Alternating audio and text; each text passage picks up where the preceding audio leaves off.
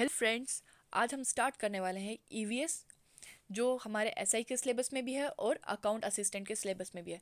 हम यहाँ पे ई की सीरीज़ स्टार्ट करेंगे हम पूरा सिलेबस कवर करेंगे और डीप स्टडी करेंगे जो आपको हेल्प अदर कम्पिटिटिव एग्ज़ाम्स में भी करेगा।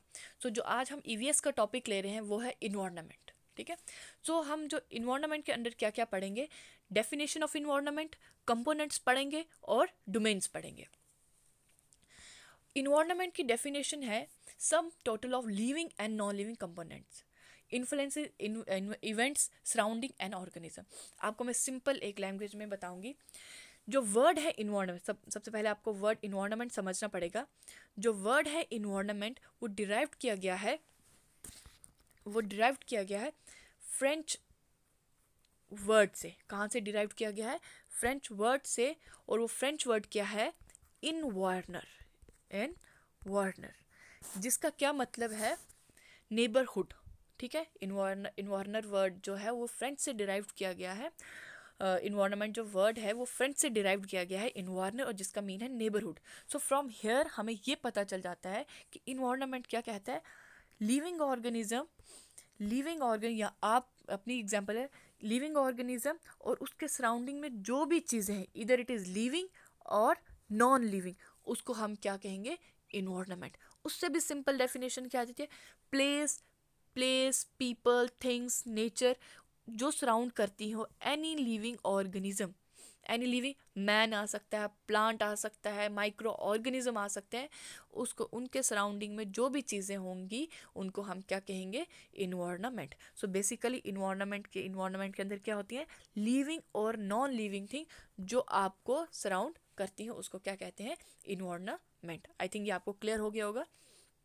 Next component so component of environment so before going in component समझने पहले पहले मैं आपको ये चीज़ बता दूँ कि जो इन्वायरमेंट है, वो क्या है? बेसिक लाइफ सपोर्टिंग सिस्टम है। ठीक है? क्यों है हम इसको बेसिक लाइफ सपोर्टिंग सिस्टम क्यों कहते हैं? बिकॉज़ जो इन्वायरमेंट है, वो हमें एयर मतलब क्या प्रोवाइड करता है? एयर प्रोवाइड कर देता है for breath water for drink food for eat and land for live ठीक है? सो जो बेसिक हमारी नीड है ज़िंदा रहने के लिए सर्वाइव करने के लिए वो हमें कौन प्रोवाइड करता है? इन्वायरमेंट तो हमारी बेसिक नीड्स क्या आ जाती है? एयर वाटर फ़ूड लैंड जो हमारी सर्वाइव सर्वाइवल कह सकते हैं नीड्स है वो हमें इन्वायरमेंट प्रोवाइड करते करता है. दैट्स वाई हम इसको क्या कहते हैं? बेसिक लाइफ सपोर्टिंग सिस्टम किसको? इन्वायरमेंट को कहते हैं. सो so, इन्वायरमेंट जो है उसके अंदर दो कंपोनेंट हैं। एक बायोटिक दूसरा है अबायोटिक सो so, आपको क्वेश्चन यहाँ पे हो जाता है राइज हो जाता है बायोटिक क्या है और अबायोटिक क्या है? तो मैं आपको एक पिक्चर दिखाती हूँ उससे आपको थोड़ा बहुत क्लियर हो जाएगा बायोटिक और अबायोटिक क्या होते हैं ठीक है? क्लियर हो गया I think nature natural human made human ये चीज़ें आप सब uh, जो कंपोनेंट है इन्वायरमेंट के उसके अंडर आप ये पढ़ोगे so next move to the slide biotic factor यानी कि फैक्टर्स और कंपोनेंट भी आप कह सकते हैं। जो बायोटिक वर्ड है, जो बायोटिक वर्ड है, उसका क्या मतलब है? लिविंग लिविंग क्या होता है? ज़िंदा चीज़ें, ज़िंदा। So the word of living organism जो बायोटिक फैक्टर या बायोटिक कंपोनेंट किससे, क्या मतलब है? क्या उसका एक्सट्रैक्ट है? वो क्या है? World of living organism so biotic factor में सिर्फ़ क्या आएँगे? लिविंग ऑर्गेनिज्म आएँगे। लिविंग ऑर्गेनिज्म में क्या क्या आएगा आपका? प्लांट एनिमल और मैन मैन को इसलिए सेपरेट लिखते हैं बिकॉज़ मैन को हम एनिमल नहीं कह सकते हैं। ठीक है? और तीसरा क्या आएगा? चौथा क्या आएगा? माइक्रो ऑर्गेनिज्म ठीक है? हम प्लांट एनिमल मैन और माइक्रो ऑर्गेनिज्म को किसके अंडर लेते हैं? बायोटिक फैक्टर के अंडर लेते हैं। Biotic factor mean living factor of environment for example plant animal micro organism और मैन ठीक है? अब माइक्रो ऑर्गेनिज्म आई थिंक वो आपको पता होगा माइक्रो ऑर्गेनिज्म जो हम बिना माइक्रोस्कोप के नहीं देख सकते हैं। वो वाले जीव, वो वाले ऑर्गेनिज्म वो वाली ज़िंदा चीज़ें जो हम माइक्रोस्कोप के बिना नहीं देख सकते। जैसे अमीबा है, पैरामीशियम है, ये आपने पढ़े होंगे साइंस में, पैरामीशियम, अमीबा, बैक्टीरिया, प्रोटोजोन, ये चीज़ें हम नहीं देख सकते हैं। उनको हम क्या बोलते हैं? माइक्रो ऑर्गेनिज्म माइक्रो का मतलब ही क्या होता है? छोटी सी माइन्यूट चीज़ें और ऑर्गेनिज्म क्या हो गए लिविंग ठीक है, वो वाले ऑर्गेनिज्म जो हम बिना माइक्रो विथ नेक्ड आइज़ हम नहीं देख सकते हैं। ठीक है आई थिंक ये आपको क्लियर हो गया होगा। Now next move to the slide abiotic ठीक है? अबायोटिक कंपोनेंट क्या होता है? Abiotic word stand for non living ठीक है? ज़िंदा चीज़ें नहीं। जो ज़िंदा चीज़ें नहीं हैं, उनको हम क्या कहते हैं? अबायोटिक हमने पढ़ा था जब हम इन्वायरमेंट में टॉप अभी वर्ड ही समझा रही थी, उसमें हमने पढ़ा था इन्वायरमेंट में हमें बोथ बायोटिक और अबायोटिक थिंग्स मिलती हैं। ठीक है? जब आप आगे थोड़ा सा हमें हमें मोस्टली अबायोटिक क्या रहता है? अबायोटिक जो थिंग्स है, जो ह्यूमन नहीं बनाई अबायोटिक को हम मैन मेड के अंडर भी लेते हैं। सो बेसिकली जो अबायोटिक है, वो जो है, वो मैन मेड भी है और नेचुरल भी है। अब जो नेचुरल अबायोटिक कौन कौन सी आ जाएँगी आपकी? माउंटेन्स रिवर ट्रीज और यू कैन से प्लांट और और क्या क्या हो सकती है?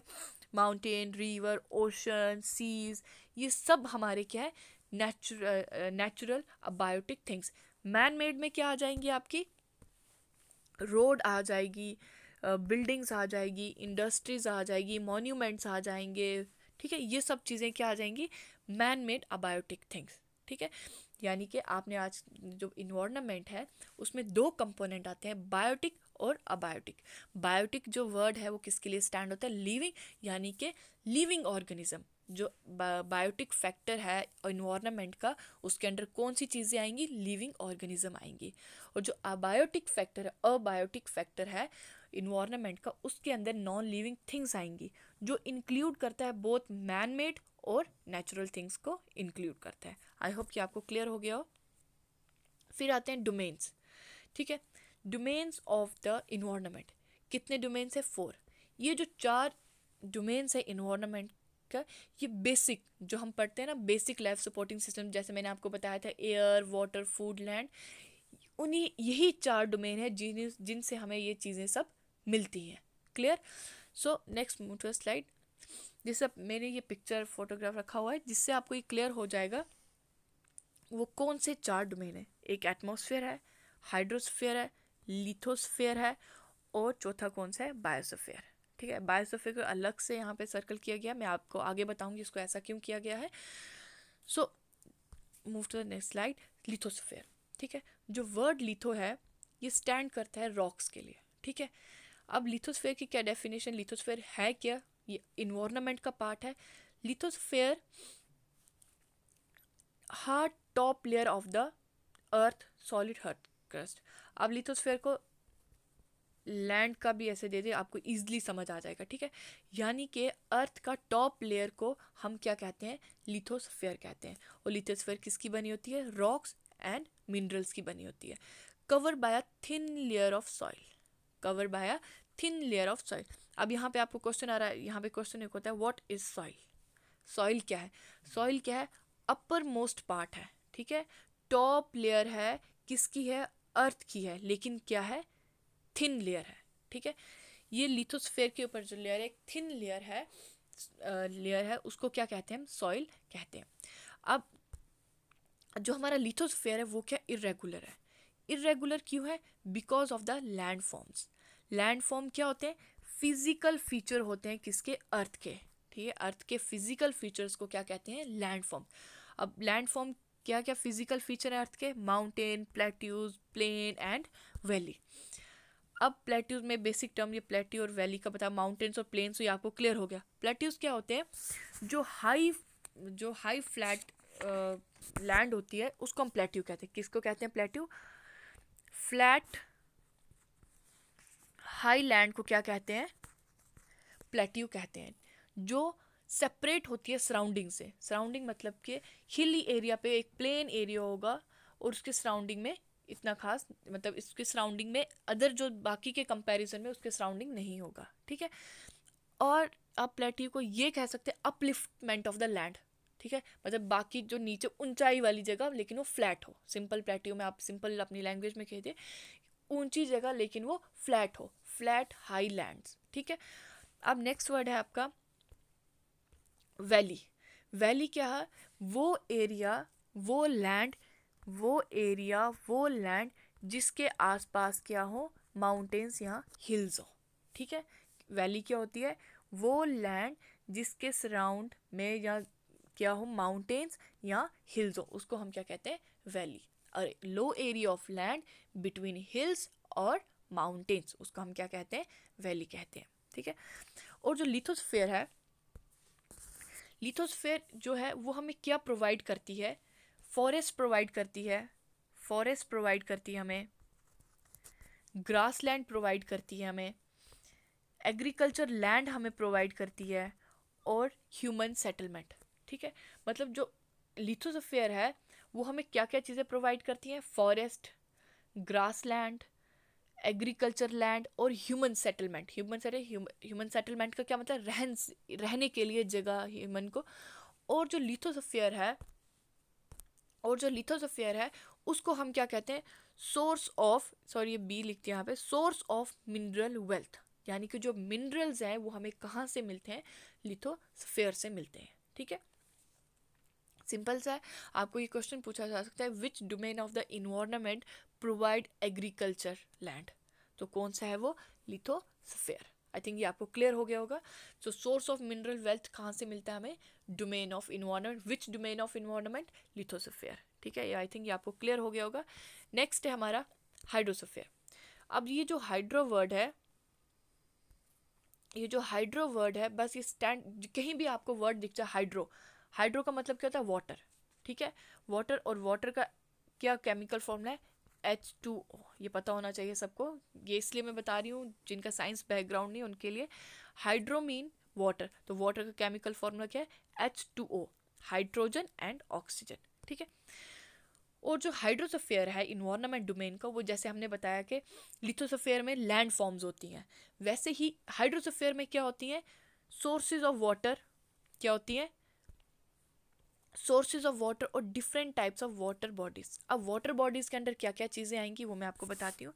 एक आ जाएगा रिवर लेक सीज ओशन ये सब चीज़ें किसके अंडर आ जाएँगी? वाटर बॉडीज़ के अंदर क्या आ जाएँगी? रिवर लेक्स सीज ओशन अब सोर्सेज ऑफ़ वाटर क्या हो सकती हैं? ग्लेशियर्स ठीक है? और one more thing hydrosphere is essential for all living organism हम कहते हैं, आपने ये मुहावरा सुना है पानी क्या है? ज़िंदगी है। So it is essential for all living organism ये बहुत ज़रूरी है हर जीव के लिए, हर ऑर्गेनिज्म के लिए ये बहुत ज़रूरी है ज़िंदा रहने के लिए, ठीक है? सर्वाइवल हम कह सकते हैं सर्वाइवल डोमेन ऑफ़ इन्वायरमेंट किसको कहेंगे आप? हाइड्रोसफियर को कहेंगे।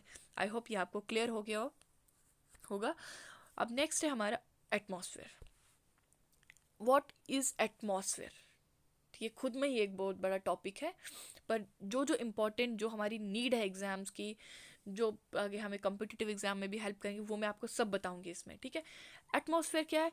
एक थिन लेयर है एयर की, ठीक है? क्या है? थिन लेयर है एयर की जो सराउंड करती है किसको? अर्थ को। सपोज़ ये आपकी अर्थ है अर्थ को सराउंड करती है एक लेयर उसको क्या कहते हैं हम? एटमॉस्फेयर ठीक है? यहाँ तक क्लियर हो गया। अब यहाँ पे सॉरी यहाँ पे है एक word air what is air air क्या है? Mixture of gases mixture of gases अब वो गैसेस क्या है? एक है नाइट्रोजन एक है ऑक्सीजन और जो बाकी नाइट्रोजन का कितना कंटेंट है एयर में? सेवेंटी एट परसेंट है और ऑक्सीजन का कितना है? ट्वेंटी वन है। और जो बच गई वन परसेंट जो गैसेस बच गई, वो क्या कहलाती हैं? ट्रेस गैसेस अब इन्हीं गैसेस में जो वन परसेंट सॉरी जो वन परसेंट गैसेज बचती हैं, उसमें एक गैस आती है आर्गन आर्गन गैस आती है। उसको हम ट्रेस गैसेस में नहीं लेते हैं, क्योंकि जो अदर गैसेस हैं, जो वन परसेंट के बाद अगर जो बाकी आर्गन को छोड़ गैस है, उनका अमाउंट बहुत कम है। उनको हम क्या कहते हैं? ट्रेस सॉरी ट्रेस गैसेस कहते हैं। ट्रेस गैसेस जो बहुत कम अमाउंट में हमारे एटमॉस्फेयर में प्रेजेंट होती हैं, उनको हम ट्रेस गैसेस कहते हैं, ठीक है? अब नेक्स्ट है ट्रेस गैसेस कौन कौन सी हैं? एक है हमारी methane C H four chemical formula लिख रही हूँ। दूसरी है ओजोन थ्री फिर है एक carbon dioxide nitrogen oxide neon helium ये सब क्या आ जाएँगी? ट्रेस गैसेस आएँगी, जो कम अमाउंट में, यानी कि जो लेस अमाउंट में प्रेजेंट होती है हमारी एयर में, हमारे एटमॉस्फेयर में, उनको हम ट्रेस गैसेस कहते हैं। और वन मोर थिंग अभी आप सोचेंगे कार्बन डाइऑक्साइड तो बहुत है हमारे इन्वायरमेंट अब हमारे इन्वायरमेंट चेंज हुए तभी उसकी कंसनट्रेशन ज़्यादा हो गई। अगर हम नीट एंड क्लीन इन्वायरमेंट की बात करेंगे तो उसमें कंसनट्रेशन ऑफ़ कार्बन डाइऑक्साइड बहुत कम है, ठीक है? अब बात चलती है यहाँ पे कि एटमॉस्फेयर की जो एटमॉस्फेयर है, उसकी सब लेयर्स हैं। ठीक है? सब लेयर कौन कौन सी है? एक है ट्रोपोसफेयर फिर है स्ट्रेटोसफेयर फिर है mesosphere and the last one is thermosphere ठीक है? इसके बाद भी एक और लेयर आती है, उसको हम कहते हैं एग्जोसफेयर एटमोसफेयर से बाहर, उसको हम क्या कहेंगे? एग्जोसफेयर ठीक है? हम इसकी बात नहीं करेंगे। हम सिर्फ़ करेंगे हम बात करेंगे सिर्फ़ ठीक है? यहाँ से हमने लेयर्स पढ़ रहे हैं। Troposphere troposphere stratosphere mesosphere and thermosphere ठीक है? हम यहाँ पे एक बात करेंगे स्ट्रेटोस्फेयर लेयर की, क्योंकि जो स्ट्रेटोस्फेयर लेयर है, उसमें एक मोस्ट इंपॉर्टेंट लेयर प्रेजेंट है, जो हमें हमारे अर्थ को हमें प्रोटेक्ट करती है फ्रॉम हार्मफुल रेज से हमें प्रोटेक्ट करती है। और उस लेयर का क्या नाम है? स्ट्रेटोसफेयर स्ट्रेटोसफेयर जिसके अंदर एक मोस्ट इंपॉर्टेंट लेयर प्रेजेंट है, जिसका नाम है ओजोन लेयर ठीक है, ये मैंने आपको भी बताया, ये ट्रेस गैसेस में आती है। ओजोन लेयर वो लेयर है जो हमें हार्मफुल गैसेस से बचाती है। कौन कौन सी हार्मफुल गैसेस है? हार्मफुल सॉरी गैसेस नहीं रेज हैं। कौन सी अल्ट्रा वायलेट रेज हैं और इंफ्रा रेड रेज हैं। जो हमें प्रोटेक्ट करती है, वो है ozone layer from harmful rays कौन कौन सी यूवी रेज जिनको हम अल्ट्रा वायलेट रेज कहते हैं और आई आर यानी कि इंफ्रा रेड रेज जो हमें प्रोटेक्ट करती है इन हार्मफुल रेज से। अब बात आती है कि जो एटमॉस्फेयर है, जब वो चेंज जब एटमॉस्फेयर में कोई भी चेंज आती है any change in the atmosphere तो किसमें चेंज आती है? वेदर और क्लाइमेट ठीक है? एटमॉस्फेयर में फिर से रिपीट करूँगी। एटमोसफेयर क्या है? What is an atmosphere atmosphere क्या a thin layer of air यहाँ से हमने एक वर्ड एयर की भी डेफिनेशन पढ़ी। एयर की डेफिनेशन क्या है? मिक्सचर ऑफ़ गैसेस अब वो मिक्सचर ऑफ़ गैसेस में क्या क्या हमने पढ़ा? नाइट्रोजन पढ़ा ऑक्सीजन पढ़ा और अदर गैसेस क्यों अदर गैसेस क्योंकि अदर गैसेस सिर्फ़ वन परसेंट ही प्रेजेंट है और नाइट्रोजन जो है सेवेंटी एट परसेंट और ऑक्सीजन ट्वेंटी वन परसेंट आपसे ये भी क्वेश्चन पूछा जा सकता है कि विच किस गैस का सबसे ज़्यादा कंटेंट होता है एयर में? दैट इज़ नाइट्रोजन उसके बाद ऑक्सीजन और अदर गैसेस कम होते हैं और उन गैसेस को हम ट्रेस गैसेस भी कहते हैं because they are present in very less amount अब एग्ज़ाम्पल क्या है ट्रेस गैसेस को मैं आपको बता देती हूँ। एक है मिथेन मिथेन गैस यानी कि C H sorry C H four C H four है।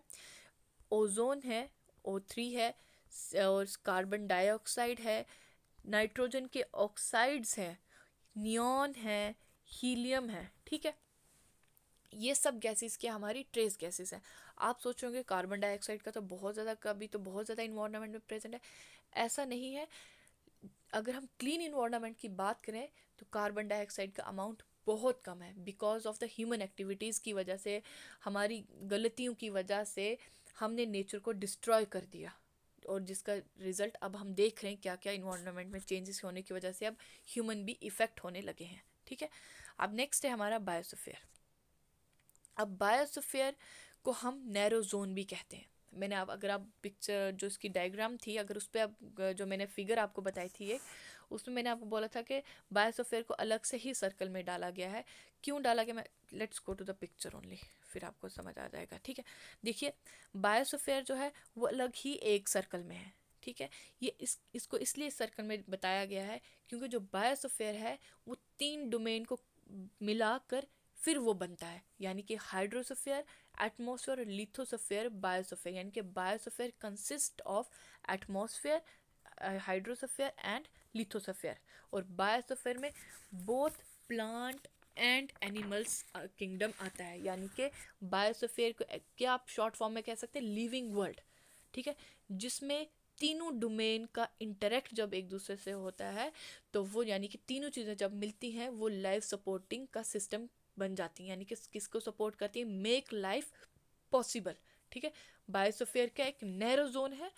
नैरो जोन है और जिसके अंदर तीनों डोमेन लैंड वाटर एयर तीनों मिलकर क्या बनाते हैं?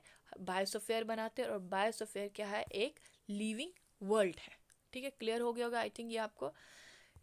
नेक्स्ट वर्ल्ड ये जस्ट स्लाइड इसलिए रखी कि ताकि आपको हमेशा याद रहे कि फिफ्थ जून को क्या सेलिब्रेट किया जाता है? वर्ल्ड इन्वायरमेंट डे मैं रिपीट करूँगी फिर से जितना भी अभी तक हमने पढ़ा हुआ है। जितना भी अभी तक हमने पढ़ा है let's move to the first slide ठीक है? फ़र्स्ट स्लाइड से देखते हैं। इन्वायरमेंट ठीक है? मैंने आपको बताया इन्वायरमेंट जो वर्ड है, वो फ्रेंच वर्ड से डिराइव किया गया है और वो फ्रेंच वर्ड क्या है? इन्वार्नर जिसका मतलब क्या है? नेबरहुड ठीक है?